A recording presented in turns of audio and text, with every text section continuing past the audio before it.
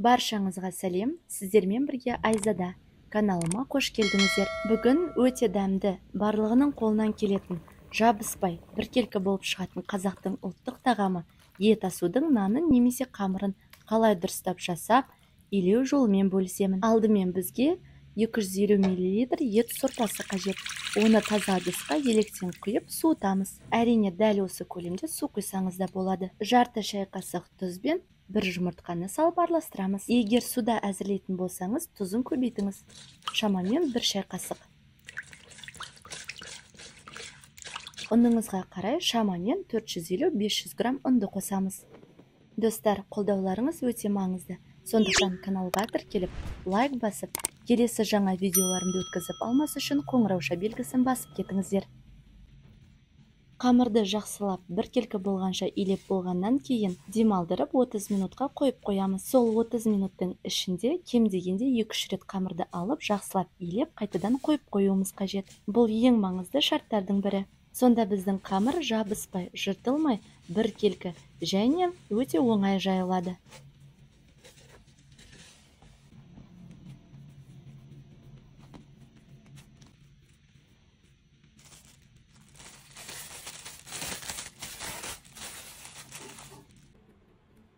Уақыт өткеннен кейін ие қанған қамырды үстелдің үстіне ұн сеуіп илей бастаймыз.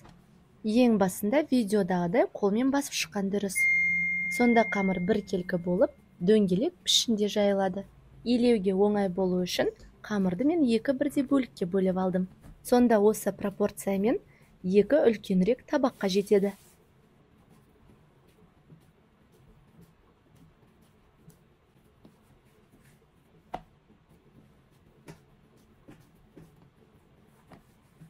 Осыдан кейін барып оқтаумен илеуге кірісеміз. Дөңгелек пішінде болу үшін тағы бір құпия оқтаумен алғашқыда илеген кезде қамырды басып емес оқтаудың екі шетін басқан жөн.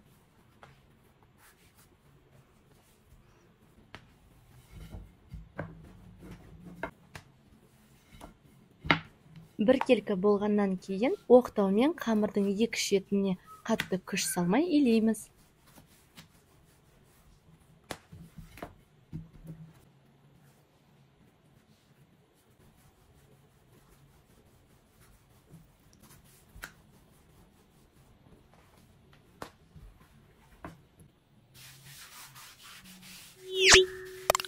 Достар міндетті түрде каналға тіркеліп лайк басып достарыңызбен бөлісе кетіңіз.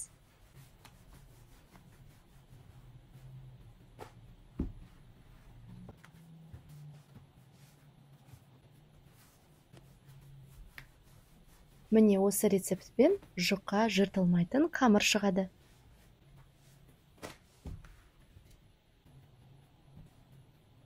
Иленген қамырымыз дайын болғаннан кейін оқтауға орап ортасынан пышақпен кесеміз.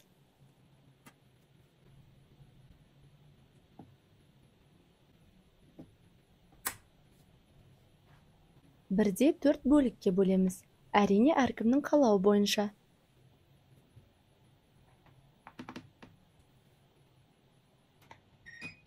Міне біздің жабыспайтын езіліп кетпейтін еттің қамыры дайын болды.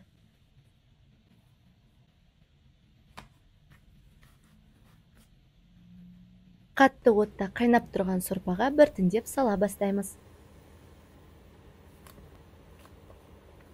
Қамырды сорпаға батырып кішкене араластыруымыз қажет.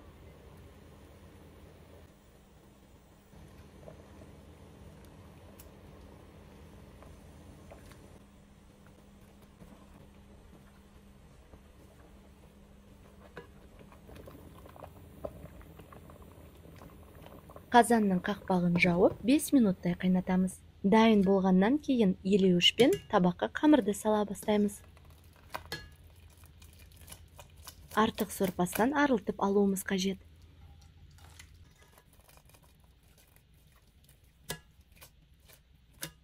Міне біздің қамыр езілмей бір біріне жабыспай шықты. және осылай тұздықтың майлы сорпасынан үстінен құйып шықсаңыз қамырымыз шырынды әрі өте дәмді болады.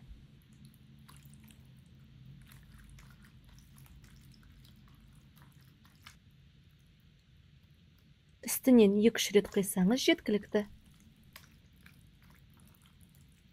Етін тұздығын салып қазақтың ұлттық ет асу тағамы дайын болды.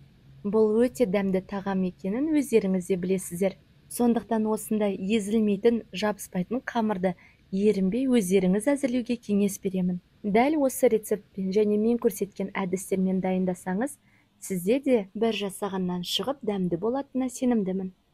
Астарыңыз дәмді болсын. Аман сау болыңыздар.